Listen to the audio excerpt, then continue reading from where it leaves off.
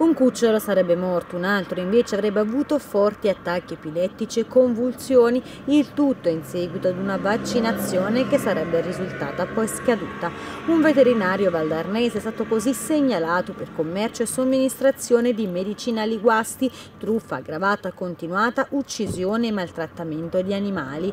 Le indagini portate avanti dai carabinieri della stazione di Levane erano partite a seguito della denuncia dei proprietari dei cuccioli. La coppia aveva portato a vaccinare una ventina di cagnolini, di questi uno appunto era morto in seguito alla vaccinazione, mentre l'altro si era sentito male, accusando un forte attacco epilettico e convulsioni.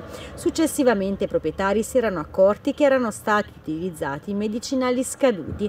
Dopo alcuni accertamenti preliminari, i carabinieri di Levane, in collaborazione con i militari del NAS di Firenze, hanno eseguito una perquisizione nello studio, nell'abitazione e nell'auto del veterinario. Sono stati così trovati e sequestrati vaccini, fiale di insulina ed altri medicinali, tutti scaduti di validità nel periodo 2016-2018. Sono stati infine sequestrati anche due libretti canini con la somministrazione dei vaccini scaduti.